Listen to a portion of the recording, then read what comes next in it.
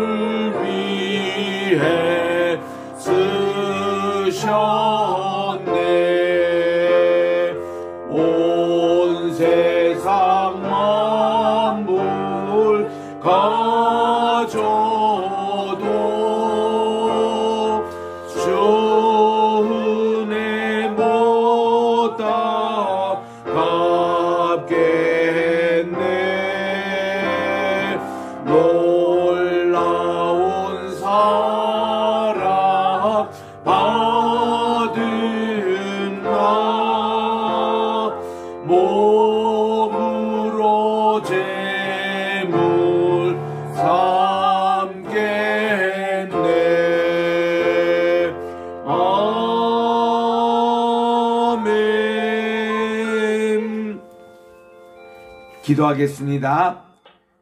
내가 그리스도와 함께 십자가에 못 박혔나니 그런즉 이제는 내가 사는 것이 아니요 오직 내 안에 그리스도께서 사는 것이라 이제 내가 육체 가운데 사는 것은 나를 사랑하사 나를 위하여 자신을 버리신 하나님의 아들을 믿는 믿음 안에서 사는 것이라 내가 하나님의 은혜를 피하지 아니하노니 만일 의롭게 되는 것이 율법으로 말미암으면 그리스도께서 헛되이 죽으셨느니라. 아멘. 만복의 근원이 되시고 만왕의 왕이 되시며 만주의 주가 되시는 존귀하신 하나님 아버지께 영광과 찬송과 존귀를 세세 영원토록 돌려드립니다. 복된 거룩한 날을 맞이하여 원근같이 해서 모여 오늘도 우리 개셋만의 교회가 하나님께 예배를 드리오니 이 예배를 온전히 음명하여 주시고 저희들에게 한없는 은혜와 축복 내려주셨기만을 예수님의 이름으로 기도 기원드리옵나이다. 아멘. 주보에 있는 공동 참회 기도를 한 목소리로 드리겠습니다. 시작. 거룩하신 하나님 아버지 사순절 기간 동안 매일 자신을 부인하고 저희들이 져야 할 십자가를 지고 주님만 따라가며 십자가를 사랑하게 하옵소서 지난 한 주간에 이 세상에 살면서 지은 여러 죄들을 고백합니다. 정직하지 못한 것, 성실하지 못한 것, 겸손하지 못한 것 감사하지 못한 것을 회개하옵나이다. 거짓의 입술, 교만한 마음, 불순종의 언행, 불평하는 습관, 인본주의적 생각 등을 회개하옵나이다.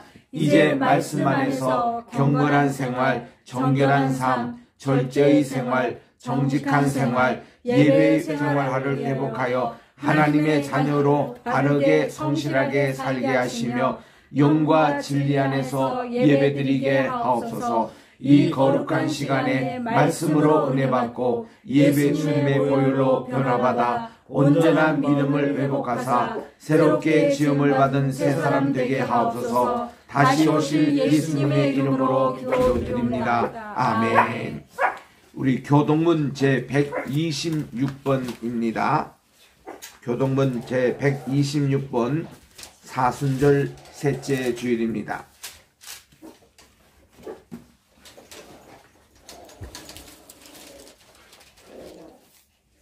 여호와여 나의 영혼이 주를 부르러 보나이다. 나의 하나님이여 내가 주께 의지하였사오니 나를 부끄럽지 않게 하시고 나의 원수들이 나를 이겨 개가를 부르지 못하게 하소서. 주를 바라는 자들은 수치를 당하지 아니하려니와 까닭 없이 속이는 자들은 수치를 당하리이다. 여호와여 주의 도를 내게 보이시고 주의 길을 내게 가르치소서. 주의 진리로 나를 지도하시고 교훈으로서 주는 내 구원의 하나님이시니 내가 종일 주를 기다리나이다. 여호와여 주의 극률하심과 인자심이 영원부터 있어사오니 주여 이것들을 기억하옵소서. 여호와여 내 젊은 시절의 죄와 허물을 기억하지 마시고 주의 인자하심을 따라 주께서 나를 기억하시되 주의 선하심으로 하옵소서. 여호와는 선하시고 정직하시니 그러므로 그의 도로 죄인들을 교훈하시리로다. 온유한 자를 정의로 지도하시며 온유한 자에게 그의 도를 가르치시리로다. 여호와의 모든 길은 그의 언약과 증거를 지키는 자에게 인자와 진리로다. 아멘. 5장 찬성으로 하나님께 영광 돌리겠습니다.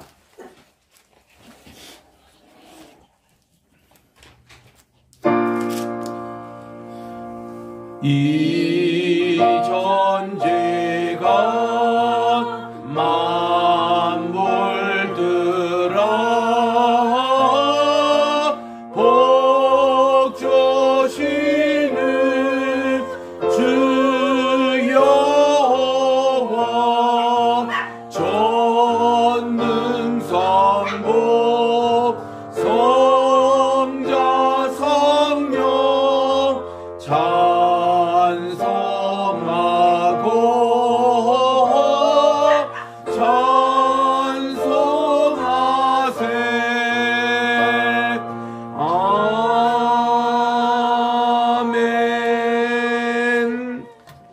그 자리에 앉으셔서 오늘 주시는 하나님의 말씀을 봉독하겠습니다.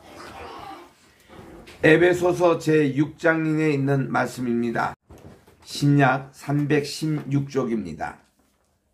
제가 1절부터 4절을 읽을 터인데 여러분들은 어, 12절부터 우리 17절까지 우리 합독하시길 바랍니다. 12절부터 17절 준비하시고 저는 1절부터 4절까지 읽습니다.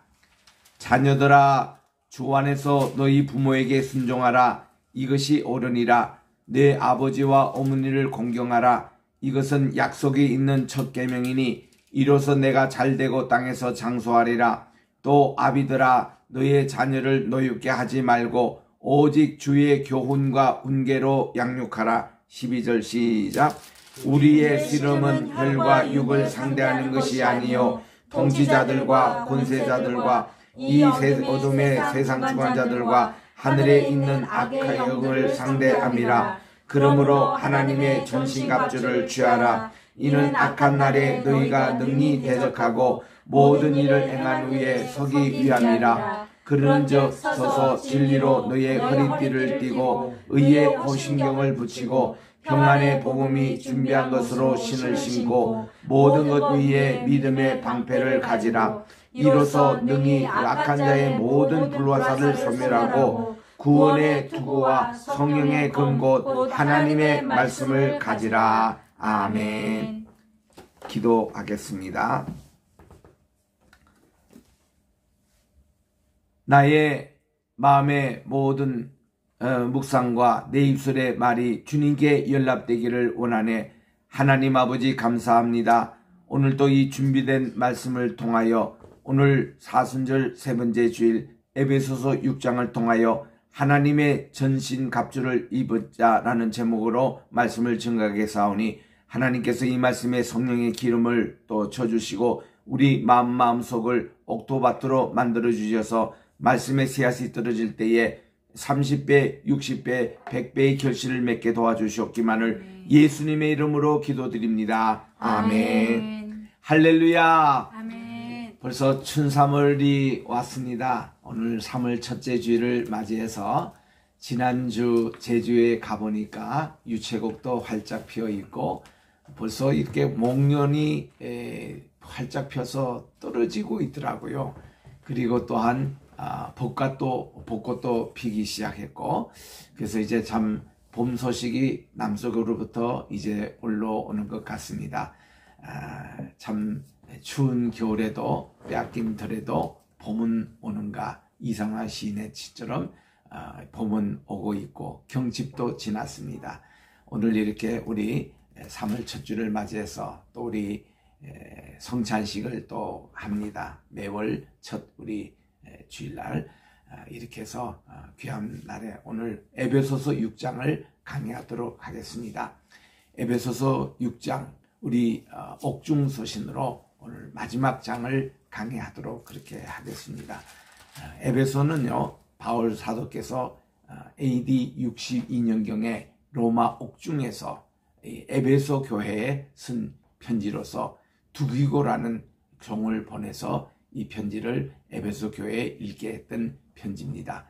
6장 세 구를 나눌 수가 있는데 1절부터 4절에는 자녀들과 부모의 관계에 대해서 말씀을 하고 있고 그리고 5절부터 9절에서는 이 종과 또 이 상전에 관한 그런 아, 관계를 말씀을 드리고 있고 그리고 이제 10절부터 끝절까지는 영적인 전투인 하나님의 전신갑주를 입자라는 것이 주제가 되고 있습니다.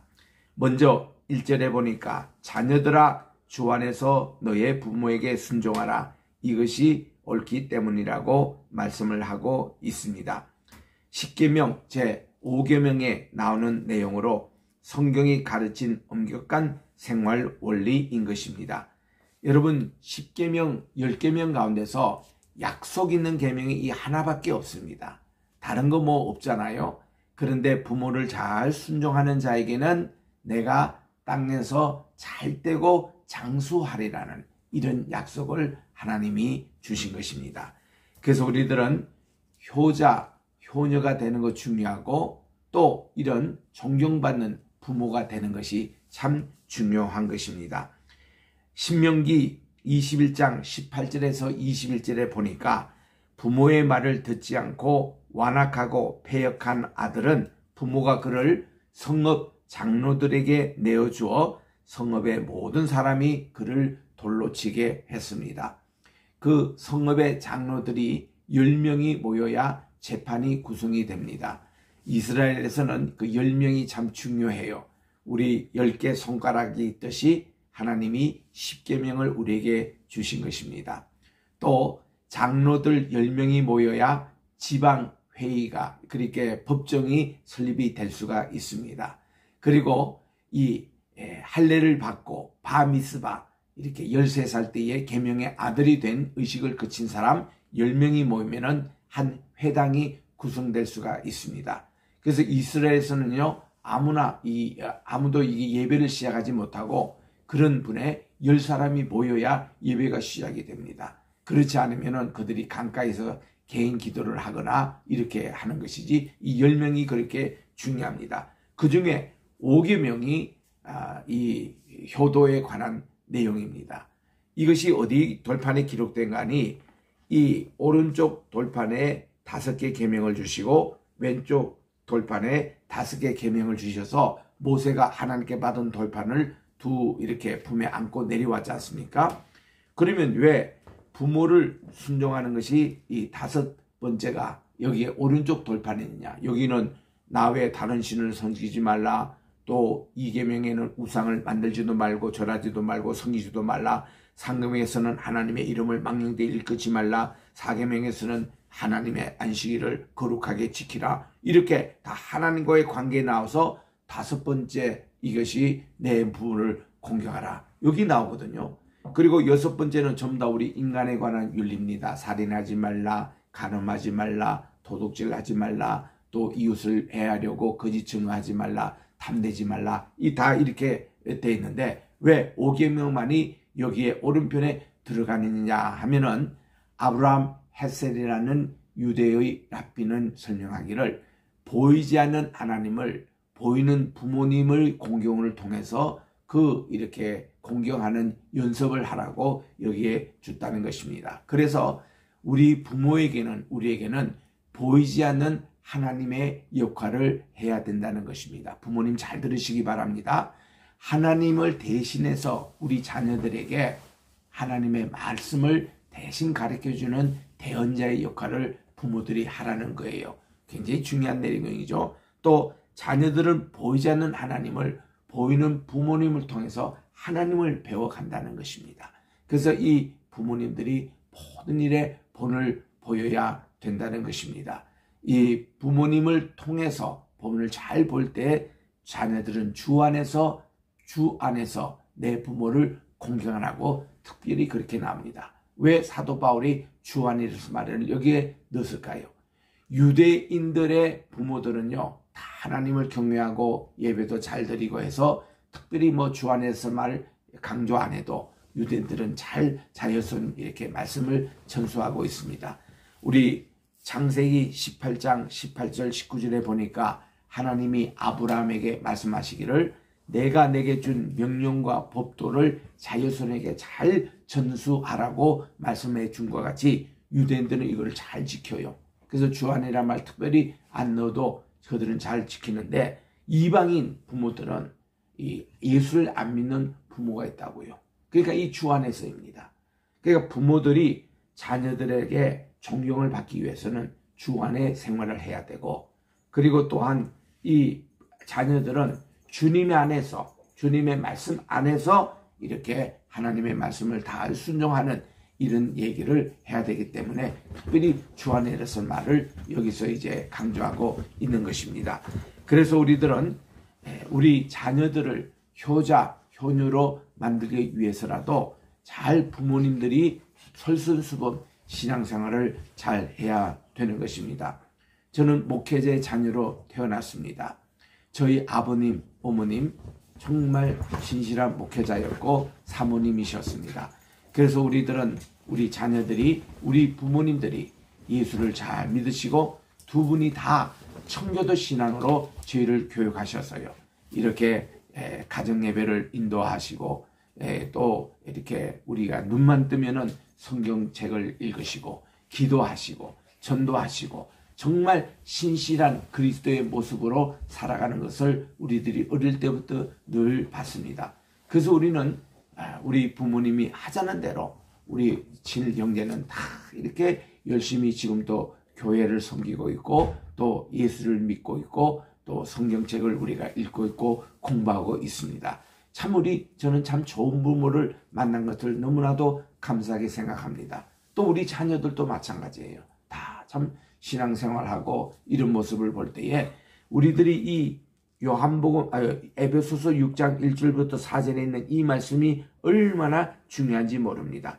부모님이 하나님의 뜻 아래 살고 순종할 때에 부모집에 부모님의 가르침에 순종하는 것이죠. 예를 들면 부모가 오늘로 주일날인데 학원에 가라, 놀러 가라, 오늘 골프 치러 가자 이런 말은 안 들어도 된다는 겁니다. 왜냐? 주님 안에서 하는 훈계가 아니기 때문에 우리가 주일날 교회 가자, 성경책 열심히 읽자, 그리고 우리 가정에 또 우리 예수님의 향기가 날아가자. 우리 전부 구석구석마다 찬양으로 채우자. 이런 말은 우리가 드려야 되지 않습니까?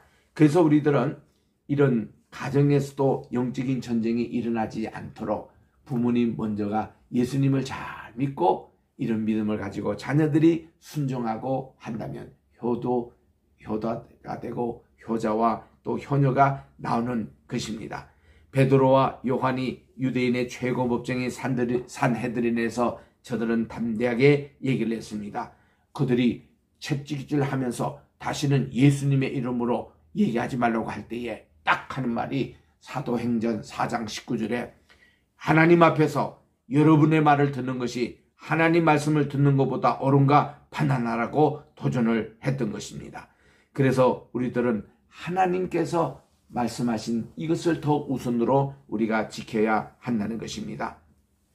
우리 2절 3절에도 계속 이렇게 말씀합니다. 그가 내게 준 땅에서 내 생명이 길리라고 약속하신 이 오경명의 말씀.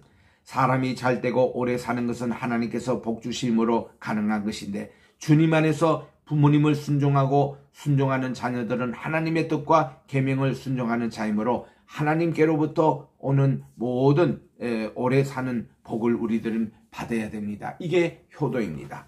사절에 보니 아비들아 자녀 교육을 주제로 얘기합니다. 자녀 교육은 정부나 학교에 맡겨진 게 아니요 또, 또, 또 심지어 교회만 맡겨지는 것도 아닙니다. 자녀 교육은 부모님이 직접 하셔야 합니다. 그것도 아버지에게 맡겨진 일입니다. 아버지는 하나님께서 맡기신 자녀 교육의 책임을 지고 완수를 해야 하는 것입니다. 자기 자녀를 노엽게 하지 말라는 거예요. 왜 자녀들이 부모에게 노엽게 또 화를 내고 대들단가요? 인격적으로 존경을 받지 못합니다. 그리고 마음에 상처를 줍니다. 그리고 아버지가 폭력을 사용합니다. 이러면 안 된다는 거예요. 그것은 절대로 우리는 해서는 안 됩니다. 예를 들면 자녀들을 어리다고 무시하거나 무리하고 부당한 명령을 한다거나 강압하고 위협하고 감정적으로 때리는 행위는 절대로 안 되는 것입니다. 그것은 자녀 교육에 해가 되고 자녀들을 빗나가게 만드는 원인이 되는 것입니다. 요즘 뉴스를 보니까 왜 그렇게 어린 아이를 때리고 그리고 상처를 입히고 죽게 만들고 또 유치원에서 그런 일들이 많이 일어나고 이거 왜 이렇습니까? 왜 이렇게 되는 생각지도 못했던 일들이 요즘 이렇게 많이 일어나는 것입니다. 그것은 큰 죄 짓는 거예요. 자녀 교육에 해가 되고 자녀들을 빗나가게 하고 자녀들을 화나게 하는 거 안 됩니다. 알코올을 묻고 자녀들 때리고 그리고 소리를 지르고 이렇게 하는 것도 안 됩니다. 이거는 하나님과 우리 가정의 죄를 짓는 것입니다. 그리고 애들을 불효자로 만드는 거예요. 이거는 정말 이, 이 죄를 어떻게 우리가 감당하겠습니까? 우리는 이런 이중적인 인격을 다 벗어버리고 주의 교육, 교양과 훈계로 양육하라고 말씀해 주셨습니다. 그래서 우리들은 이 말씀을 꼭 기억하시고 교양이란 원어라는 것은 파이데야 하는데 교육과 훈련을 말합니다. 훈계라는 말은 뉴데시아라고 그러는데 경고와 책망의 뜻입니다. 우리들은 성경이 가르쳐 주신 주의 말씀을 따라서 자녀들을 교육하고 훈련하며 때때로 저들이 잘못할 때는 책망하고 또 채찍질까지 하는 것 하나님이 허용하신 겁니다. 잠언서 22장 6절에 보니 마땅히 행할 길을 아이에게 가르치라 그리하면 늙어도 그것을 떠나지 아니라고 말씀해 주셨습니다. 잠언서 29장 15절에 보니 채찍과 꾸지람이 지혜를 주고 주거늘 임의로 하게 버려두면 그 자식은 어미를 욕되게 한다고 말씀해 주셨습니다. 잠언서 13장 24절을 보니까 초달, 초달이 채찍질입니다. 초달을 참아 못하는 자는 그 자식을 미워함이라 자식을 사랑하는 자는 늦기 전에 징계한다고 말씀해 주셨습니다.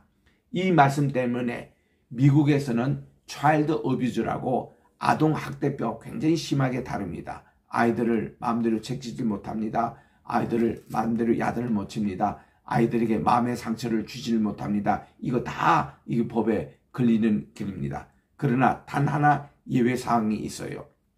유대인들 때문에 만든 법인데 자녀들이 자녀들에게 종교 교육을 한다거나 또 이렇게 어떤 교육을 위해서 서로 합의해 가지고 애들이 매를 맞겠다고 하면은 그때는 매를 때려도 아동 학대에 해당하지 않습니다. 또 아이가 내가 잘못해서 내가 잘못해서 엄마가 나를 매질했다고 내가 잘못했으니까 엄마 아빠 책임이 아니라고 이렇게 해도 아동학대법에 걸리지가 않습니다. 그래서 어 제가 살았던 동네에 유대인 가정이 있었는데 어느 날 마켓에 갔는데 이 아이가 자꾸 엄마에게 사탕을 사달라고 얘기를 하더라고요. 그래서 엄마가 안 돼. 이거는 이방인 음식이기 때문에 우리 유대인들은 함부로 어, 다른 음식을 먹으면 안 되고 엄마가 한번 꾸중을 하시더라고요. 그리고 이렇게 한 바퀴 돌고 나서 엄마가 이제 계산하려고 계산대 가는데 또 애가 그 같은 장소에 자기가 먹고 싶은 쿠키가 있던 거예요. 엄마 저거 한 번 더 먹으면 안 됐냐고 이래니까 그 자리에서 애를 말이죠. 막 그냥 때리는데 우리가 보기에 민망할 정도입니다. 그런데 미국에서는 그게 허용이 돼요. 이렇게 종교에 신앙에 그리고 또한 한 번 안 된다고 우리 유대인과 이방인의 그런 경계에서 훈계를 하는데도 말을 듣지 할 때는 애에게 이게 자문서 13장 24절의 말씀대로 따끔하게 하는 것을 보았습니다. 그래서 유대인들은 아주 엄격하게 이렇게 그 교육을 받습니다. 자문서 22장 15절에도 말씀하고 있거든요. 아이의 마음에는 미련한 것이 얽혔으나 징계하는 채찍이 이를 멀리 쫓아낸다고 그랬습니다. 사랑의 매질이에요. 또 자문서 23장 13절 14절에도 아이를 훈계하지 아니치 말라 채찍으로 그를 때릴지라도 죽지 아니하리라 그를 채찍으로 때리면 그 영혼을 지옥에서 구원하리라고 말씀해 주시는 겁니다. 그래서 이런 것으로 아주 엄격하게 하나님의 말씀을 잘 지키도록 하라고 말씀해 주고 있는 것입니다. 자, 5절에서 9절에 보니까 종과 주인의 의무를 말씀하고 있는 것입니다. 종들아 육신에 따라서 너희의 주인된 자들에게 두려워하고 떨며 단일한 마음으로 순종하기를 그리스도께 하듯 하라고 말씀해 주셨습니다. 5절에서 7절에 나오는 이 교훈은 오늘날 사회의 각 분야의 지체상 여러 우리 아래 사람들과 또 윗상관의 관계성을 얘기하는 것입니다. 종들은 주인에게 어떻게 순종했느냐 몇 가지 교육을 하는데 첫째는 그들은 주인에게 두려워하고 떨며 순종해야 한다고 말씀해 주셨습니다. 둘째는 그들은 주인에게 성실한 마음으로 순종해야 한다고 가르치고 있습니다. 세 번째는 그들은 주인에게 그리스도께 하듯 순종해야 한다고 말씀하고 있는 것입니다. 넷째는 그 주인을 한 마음으로 섬겨야 한다는 것입니다.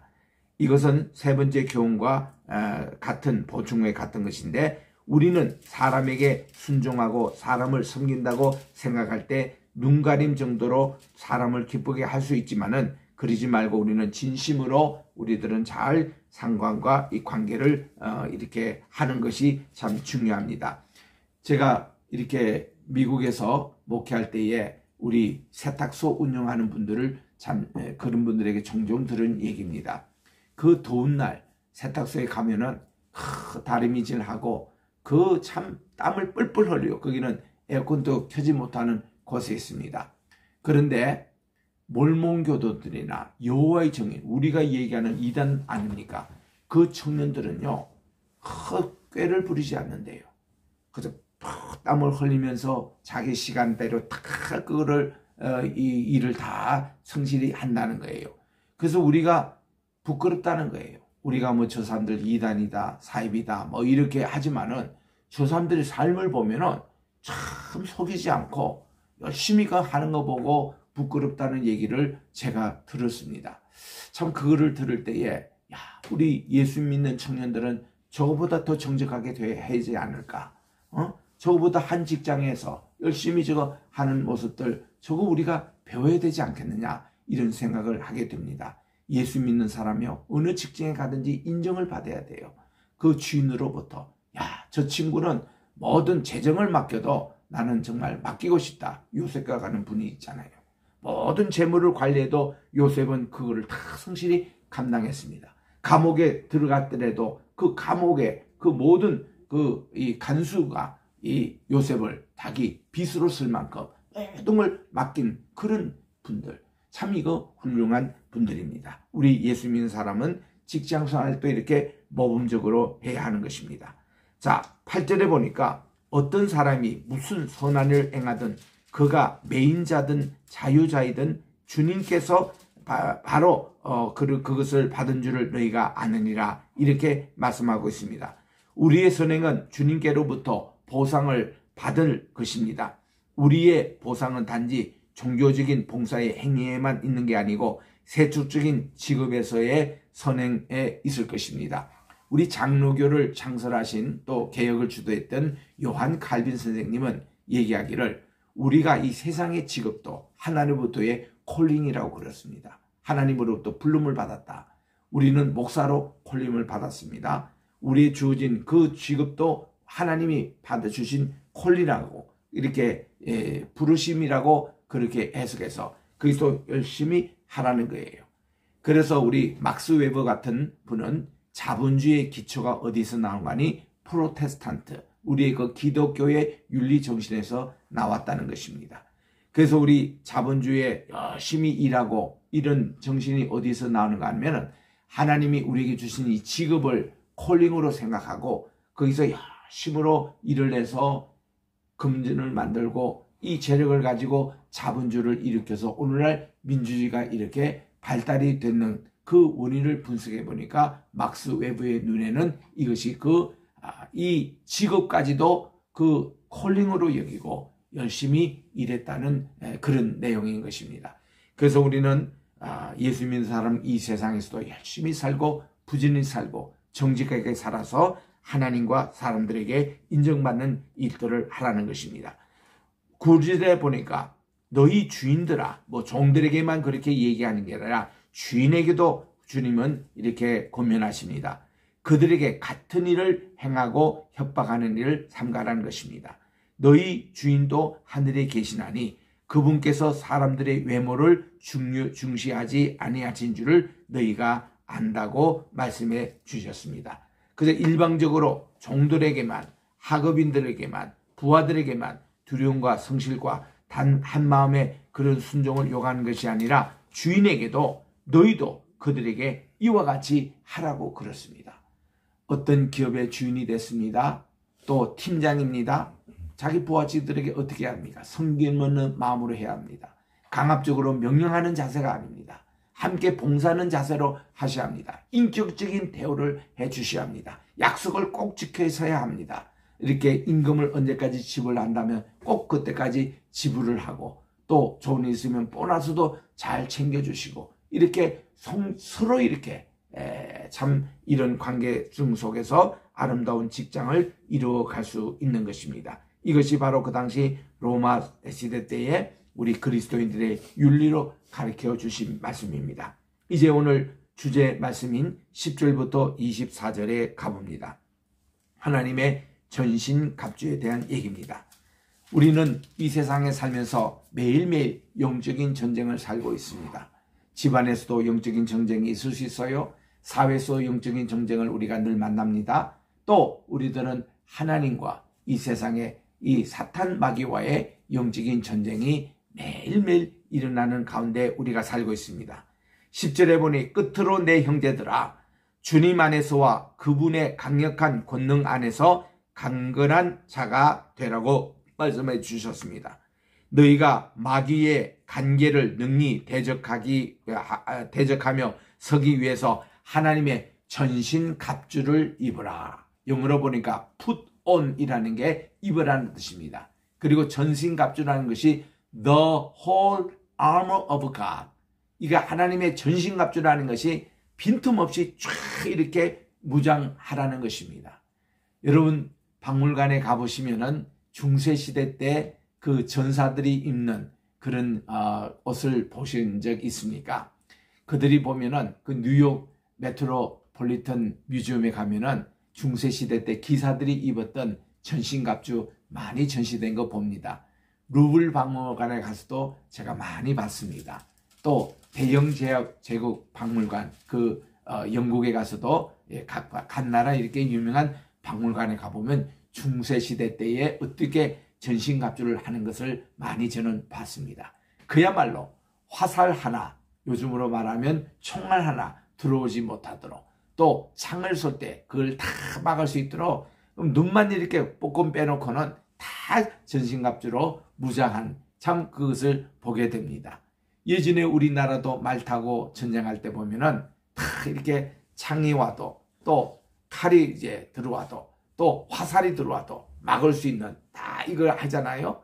우리 방패 이런 것도 하고 우리 요즘은 또 총 시대이기 때문에 총을 파티하는 방탕복 이런 거를 다 설치하지 않습니까? 그런 전신갑주. 아, 이거 보면 중세시대 때 보면은 참 대단했습니다. 그 무기만 또 대단한 것 같아요. 어? 이런 전신갑주를 입게 되는데 여기 보니까 12절에 이는 우리가 살과 피와 맞붙어 싸우지 않고 정사들과 권세들과 이 세상의 어두운 치리자들과 높은 초소에 있는 영적 사황과 맞붙어 싸우기 때문이다. 우리는 영적인 전투라는 것입니다. 그래서 너희가 이 악한 날에 능히 버티어내고 모든 일을 행한 뒤에 위해서는 하나님의 전신 갑주를 입으라고 강조하고 있는 것입니다.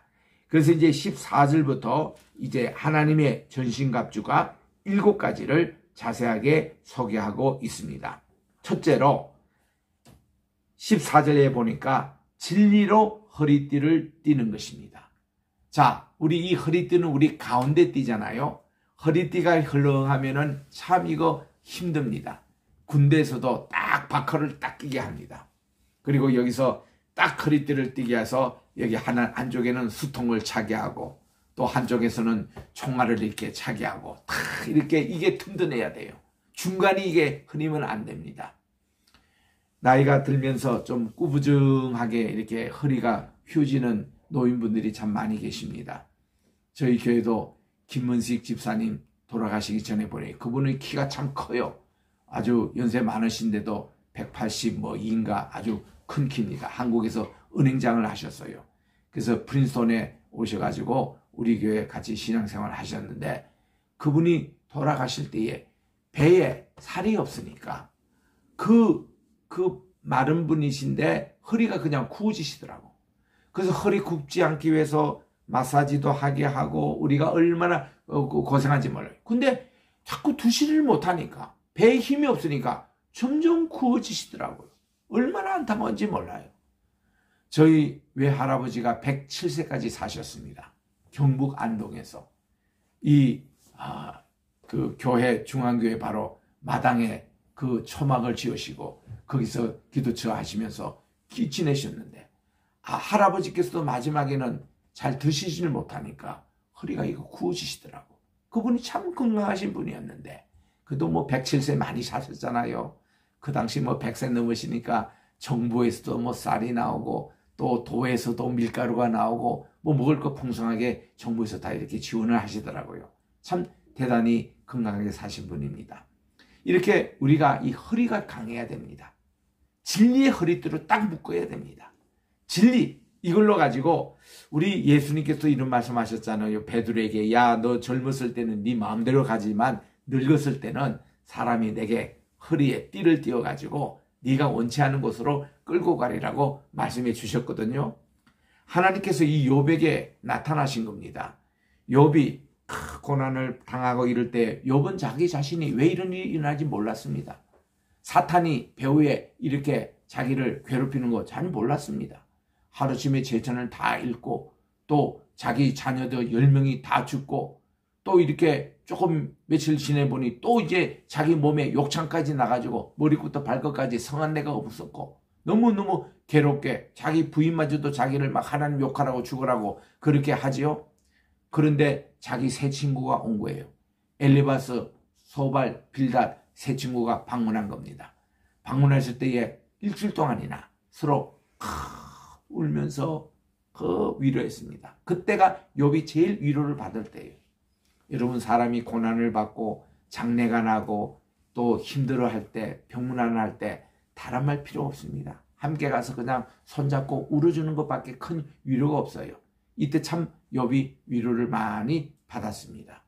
그런데 욥이 공연한 짓을 한 거예요. 엽기 3장에 보니까 불평하기 시작합니다. 하나님, 우리 엄마가 아기를 가졌다 할 때에 왜 엄마가 낙태되지 않았습니까? 왜 저를 낳을 때에 이 날이 그때 날이 없었다면 내가 태어나지도 않을 텐데 왜 저를 태어나서 이렇게 괴롭힙니까? 하고 욥이 그냥 허 하나님께 불평하기 시작을 했습니다. 여러분 이게 욥의 첫 번째 실수예요. 그 의유와 같은 욥이 그런 어, 일을 하니까 이 세 친구가 듣고 있다니까 이 기가 차거든. 나이 제일 많은 엘리바스가 욥에게 얘기합니다. 야 아니 땐 굴뚝에 연기가 나느냐? 어? 네가 뭐든지 하나님께 잘못했기 때문에 이런 법을 받지 않느냐. 권성지하적으로 그를 정죄하기 시작합니다. 그랬더니 이 소바를 아, 이 빌다시라는 이 친구는 굉장히 이성주의예요. 이 양반도 얘기가 욥에게 그런 식으로 공격을 합니다. 아니 원인 없는 결과가 있을 수 있냐고.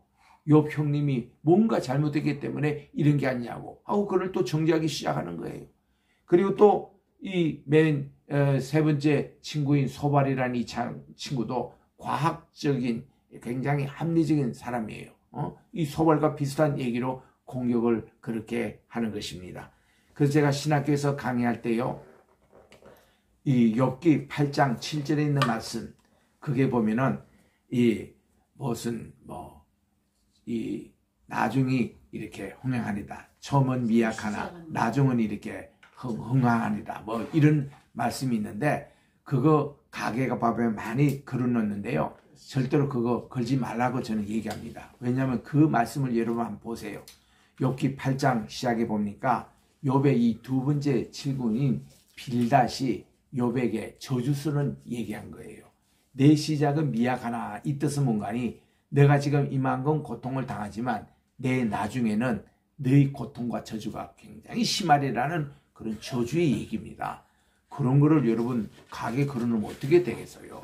여러분 이 주제를 알고 걸으셔야 됩니다. 그런 걸 절대 걸지 마시고 제가 우리 성도님들에게 강조한 것은 차라리 사무엘 하 7장 우리 29절에 있는 대로 그 우리 이 종의 집에 복을 내리셔서 이 복의 복을 내리시라는 이런 말씀을 차라리 걸고 하는 것이 좋겠다. 이런 걸로 어 저는 이민교에서 그렇게 가르치고 있습니다. 한국에도 와보니까 꽤 많은 가게에 그거를 걸어놨는데 그 뭘로 왜그 목사님들 왜 그 지도적 안 하세요? 성경을 한 번만 읽으면 거기 나오는데 그 과정에 지금은 욥이 요만큼 고난을 당하지만 이제는 더 너는 죽을 죽으로 저 저주를 받은다. 거 걸어놔서 되겠어요? 그 가게에? 그러니까 절대로 그거는 안 됩니다. 좀 성경을 제대로 보고 하셔야 되는데 그래서 이제 욥이 공연하게 이렇게 자기가 자기 생일을 저주함으로 친구들로부터 공격을 받기 시작하니까 그때부터 마음의 상처를 받아요. 근데 세 번, 네 번째 친구는 엘리우가 얘기할 때는 욥이 한마디도 그가 대답을 못합니다. 엘리우 얘기가 다 맞거든요. 왜 형님은 자기 의를 하나님보다 하나님 오보다 더 똑똑하려고 하십니까? 그럴 때에 하나님이 그 엽기 38장에 딱 나타나셔서 여봐 네가 산의 대장부라면은 내 허리띠를 띠고 내가 묻는 말에 대답하라 이렇게 말씀이 나오세요. 그 우리는요 진리의 허리띠를 띠고 있어야 우리는 실수하지 않아요. 우리는 이거부터 무장해야 된다는 겁니다. 두 번째 이 무장이 뭔가니 의의 흉배를 붙이라는 것입니다. 여러분 이 의의 흉배 영어로 보니까 breastplate라고 그랬어요. breastplate of righteousness 의의 요게 가슴 아닙니까? 우리 진리의 허리띠는 중간이고 이거는 가슴 아니겠어요? 우리 심장에 있는 부분 아니겠습니까? 이게 의의 흉배를 붙여요. 의를 붙이라는 거예요. 대제사장들은 예전에 여기 흉배에다가 둔림과 우림 이 두 가지 패를 이렇게 가졌습니다. 그래서 왕들이 와가지고 대제사장에게 이번 전쟁이 하나님께 속한 것입니까? 속하지 않은 것입니까? 그러면 대자성이 기도하다가 하나 패를 딱 뺍니다. 보면 오 하얀색 우림 패가 나왔네요. 하나님께서 어, 허락하시는 겁니다. 또 또 이렇게 하다가 딱, 오, 검은 색깔. 이거 둠밈이 나왔네요. 이번 전쟁은 하나님께 속하지 않는 것이니 전쟁하지 마세요. 이렇게 대답을 해주었던 의의 흉이었습니다. 그래서 이 우리들을 또 항상 기도할 때에 의의 흉배가 있어가지고 이게 하나님의 뜻입니까? 아닙니까? 이거를 묻는 흉배를 붙이라는 거예요. 세 번째, 전제, 이, 이 우리가, 아, 그, 갖춰야 될 게 보면 평안의 복음에 에, 또 예비한 신을 신다는 것입니다. 우리 군인들에게 군화가 얼마나 중요합니까? 군인들이 이 군화를 바짝바짝 닦기도 합니다. 군화가 튼튼해야 돼요. 막 어디 달려가고 어디 어 이제 에, 그 전술 이제 떨어졌을 때에 신발이 튼튼해야 그걸 가지고 신고 나지 뭐 신발이 벗겨진다거나 등산할 때 신발이 벗겨진다거나 우리 운동할 때 신발이 벗겨지거나 그거 큰일 나잖아요. 이 복음의 평안의 복음에 예배한 신을 신으라는 것입니다. 이 신은 하나님과 화목하는 바로 복음입니다.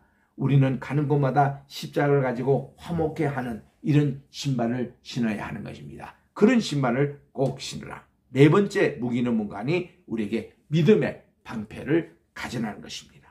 여러분 그 당시는 활 가지고 칼 가지고 전쟁하는 시기이기 때문에 이 방패가 참 중요하잖아요. 요즘 또 미얀마에서 아주 이렇게 데모가 많이 심하던데 우리 데모하는 학생들도 보니까 그 헬멧도 노란색으로 공급하고 또 이렇게 체류탄이라든지 이런 거를 방지하기 위해서 이런 방패를 가지고 막기도 합니다. 또 전투 경찰들도 그런 방패로 가지고 이렇게 합니다. 이 방패가 얼마나 중요합니까? 우리는 믿음의 방패를 가지라는 것입니다. 믿음으로 우리는 복음의 신앙이에요. 우리는 어, 마귀의 불화살을 막아낼 수 있는 그런 방패. 구주 예수를 믿는 믿음. 보혈밖에 없잖아요. 이 보혈 같은 그런 믿음의 방패를 가져라는 것입니다. 그래서 우리 보면은 252장 찬송해 보니까 예수의 흘린 피 날 희게 하오니 귀하고 귀하다. 예수의 피밖에 없네. 또 찬송가 544장에 보면 울어도 못하네. 힘써도 못하네. 참아도 못하네. 그러나 뭐예요? 우리는 믿으면 되겠네. 이런 찬송을 우리가 부리지 않습니까? 믿음의 방패인 거예요. 이거를 가지고 있어야 세상을 이긴다는 것입니다. 다섯 번째로 우리는 구원의 툴을 쓰는 거예요 우리 머리는 무엇으로 보호하느냐 헬멧을 쓰는데 이 helmet of salvation 구원의 투구라는 것입니다 구원에 대한 확고한 지식이 필요합니다. 확고한 믿음이 필요합니다. 투구를 쓴 자는 적의 공격으로부터 머리를 안전하게 보호할 수 있는 것입니다. 우리 군대에서 보면 이 헬멧 쓰는 거 얼마나 중요합니까? 이 헬멧에 우리 총탄이 빗나갑니다. 정말 이 헬멧이 중요해요. 우리 머리를 보호합니다. 그래서 우리들은 이것이 마귀에게 노출되지 않도록 딱 그 구원의 투구. 여섯 번째 무기가 뭔가니 이제 성령의 금곧 하나님의 말씀이라고 그랬습니다. 여러분 다른 다섯 개는요 전부 다 방어를 위한 우리의 전신갑주였어요. 그 중에서 딱 공격을 하는 것이 이게 성령의 금입니다. 이게 하나님의 말씀이에요. 이 말씀 하나님의 말씀은 칼과 같습니다. 말씀은 적을 공격할 수 있는 무기입니다. 하나님의 전신갑주 곧 공격의 무기는 칼입니다. 말씀으로 마귀를 무찌를 수 있습니다. 성경 66권의 하나님의 말씀을 가지고 우리는 이 세상의 마귀의 모든 근세를 무찌를 수가 있는 것입니다. 예수님께서도 마귀의 시험을 받았을 때에 모두 신명기의 말씀을 가지고 그들을 물리쳤습니다. 이 뭐 돌덩이로 그 떡으로 만들어 먹으라. 너 하나님은 하나님의 입으로 나는 모든 말씀으로 우리가 나오는데 사람이 뭐 꼭 떡으로만 사는 게 아니라 하나님의 입으로 모든 말씀으로 산다고 딱 주님께서는 신명기 8장 3절의 말씀으로 무찔렀습니다. 또 성전 꼭대기에 내리면은 또 천사가 와서 말이 부르지 않더라. 이거는요. 시편 91편 11절을 사탄이 인용한 건데 하나님 말씀을 인용해도 그대로 인용해야지. 그 하나님의 말씀에 보면요. 길을 가다가 이렇게 어떤 스크렌톨, 걸림돌이 나오는 것을 이렇게 넘어지지 않도록 지켜주신다. 이런 말씀이 나오는데 사탄은 저기서 위에서 뛰어내리면 하나님이 이거를 어, 그 발이 부딪지 않도록 해달라. 요렇게 싹 바꿔놓은 거예요.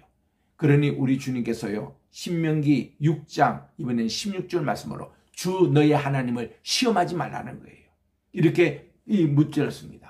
그러니 또 사탄이 그걸로 포기하지 않고 예수님을 저, 저 이제 종려 도회라고 부르는 요리고성을 데려간 겁니다. 본래 이 요리고성이 그렇게 종료 도읍이 아니었어요.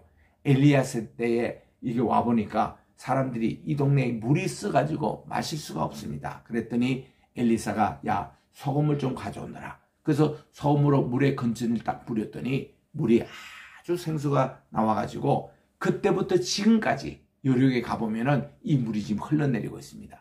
그래서 이 물로 온 도시가 종려나무 숲을 이루고 있고 이 요리구에서 나오는 감, 귤 그리고 그 무화과 나무 어, 이런 것이 얼마나 맛있는지 그 세계적으로 수출을 해요. 이 여리고산 아, 굉장히 갑니다. 그 종려 도읍을 보이면서 내게 한 번만 절하면은 이 모든 성읍을 당신에게 주겠다고 그렇게 했더니 우리 주님께서요 같은 신명기 6장 그 13절의 말씀으로 주 너의 하나님만 섬기라고 나오는 것이지 사탄 너에게 절할 필요가 없다고 주님이 모든 것을 말씀으로 딱딱 물리쳐 진 겁니다. 여러분 성경 말씀 이왕이면 성경 말씀이라도 우리 이건 다 번역된 말씀이기 때문에 하나님의 말씀을 잘 번역된 성경을 여러분들이 서셔야 합니다. 어? 우리들이 정말 선교사님들이 피땀을 흘려서 순교에 각오를 하고 올린 그 구역 성경 1911년 판이에요. 그 성경책이 참 우리에게는 좋습니다. 지금 우리가 보고 있는 개혁 개혁 성경은요. 1938년도에 그 일제 때에 신사 참배를 강요하기 위해서 이거 좀 많은 말씀을 좀 이렇게 약화시킨 거예요. 어? 주 예수 그리스도 이 플레임을 항상 예수님을 뺀다든가 그리스도를 빼는 겁니다. 주 예수를 믿으라 그리하면 너와 내 집이 구원을 될 이 말씀하고 주 예수 그리스도를 믿으라 그러면 너와 내 집이 구원이라 어떻게 우리에게 강하게 들립니까? 주 예수 그리스도가 포함된 거잖아요. 그거를 집어넣어야 됩니다. 구역엔 다 그렇게 나오는데 이성인 그냥 주 예수를 믿더라 이렇게 나오고 또 내게 능력 주시는 자 안에서 내게 자가 뭡니까? 내게 능력 주신 그리스도 안에서 이게 들어가야 되지. 또 나는 복음을 부끄러워하자니 이게 아니라 나는 그리스도의 복음을 부끄러워하자니 이게 들어가야 되잖아요. 어? 너는 먼저 하나님의 그의 나라와 그의 의를과 그의 그의 아니라 너는 먼저 하나님의 나라와 그의 의를 거라. 하나님이 들어가야 되는데 그것도 여기서는 쏙 빼고 있는 거예요. 그래서 우리들은 이 King James Bible 이게 참 잘 돼 있습니다. 우리 개혁자, 우리 파피루스 99.5% 5,780개 가운데 5,740개 파피루스가 다 들어있는 이 다수를 번역하고 있는 게 킹제임스 성경이거든요. Roman Catholic이 변개했던 40개 파피루스만이 오늘 지금 이런 것을인데 이 1938년도 우리나라의 신사참배를 강요하기 위해서 우리나라 이거 고친 게 이 개혁입니다. 일제가 고친 거예요. 이제는 우리가 일제시대에서 벗어나야 되지 않겠습니까? 그 우리는 구역 정통으로 돌아가요. 물론요, 뭐 이거 믿는다고 우리가 뭐 구원을 못 받고 그런 차원은 아니에요. 이왕이면 성경을 읽을 때에 9,800군데나 빠지거나 이렇게 하나님의 신명을 이렇게 어긋나고 어, 떤 데는 말이죠. 여기에 신약에 보면 13군데나 없음 없음 나옵니다. 말도 안 되는 일이에요. 성경이 없음이 말이 됩니까? 다 있는 건데. 어? 신약 4번에 99.5%에 나온 것을 왜 캐토릭 성경 그거 가지고 우리가 없다고 그렇게 하냐 이거죠. 아니거든요. 하나님 말씀은 성령의 검이에요. 이게 강한 부분입니다. 바른 성경. 그래서 여러분들에게 이런 성경 이것을 우리 여섯 번째 무기로 내주십니다. 마지막 일곱 번째가 저는 가장 중요하다고 보는데 우리 하나님의 영 안에서 항상 기도로 무장해야 한다는 것입니다. 기도만큼 귀한 무기가 없습니다. 기도하면 우리가 승리합니다. 기도 안 하면 우리는 패배합니다. 아말렉 전투 보십시오. 예, 아 이제 출애굽한 저들에게 무기가 있습니까? 전술이 있습니까? 군인이 있습니까? 아무도 없는 상황 속에서 아말렉 군대가 이게 침공 들어왔습니다. 아말렉은 누구예요? 에돔의 에서의 후예들입니다. 야곱의 후예들이 이집트 가서 종살이하고 그냥 이민 나갔을 때 저들은 좋다 이제 우리 차지다 이러는데 아 저들이 이제 종살이 포기하고 적과 꼬리는 흐는 땅으로 돌아온대요. 그러니까 이거를 방해를 제외했던 것이 에서의 후예가 되는 아말렉이 이들과 전쟁을 한 겁니다. 그때 모세는 달리 방법이 없어요. 요수아 내보내고서는 자기는 하나님께 두 손을 들고 기도하는 겁니다. 근데 팔이 아프면은 내려오니까 이스라엘이 패배하고 있어요. 이거 내릴 수가 있나요? 아, 아른 형님 빨리 오세요. 어, 우리 훌, 빨리 좀 와라고. 내 팔을 좀 붙들어 달라고. 아론과 훌이 함께 기도를 했습니다. 우리 국가기도운동본부에서는요, 이거를 모세 모자, 아론 아자, 그리고 훌 할 때 훌 이래서 모아 훌 기도라고 합니다. 아, 한 사람, 세 사람 짝을 세워놓고 한 사람은 모세가 되고 한 사람은 아론 되고 하나님 훌이 돼가지고 합심기도 그렇게 우리가 하는데 참 우리 그런 기도하니 참 좋더라고요. 하여튼 그런 기도를 하니까 아말렉을 이긴 거예요. 우리가 기도하면은 반드시 영적인 전쟁에 승리하게 되는 것입니다. 사랑하는 성도 여러분, 오늘 하나님의 전수인 갑주를 입자고요. 이거를 제가 위로부터 다시 좀 정리를 하면은 맨 위에는 뭐예요? 구원의 투구입니다. 또 가슴에는 뭐예요? 의의 흉배입니다. 또 혈이띠는 뭐예요? 진리의 허리띠입니다. 손에는 뭐예요? 믿음의 방패입니다.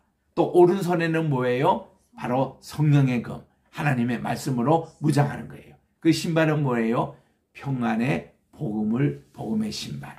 이걸로 무장해서 그다음 여섯 개 다 돼 있지만 뭐가 하나 더 기도예요. 기도. 기도가 기도하면 하나님이 내 편이 되고 하나님의 군대가 되는 거예요. 어?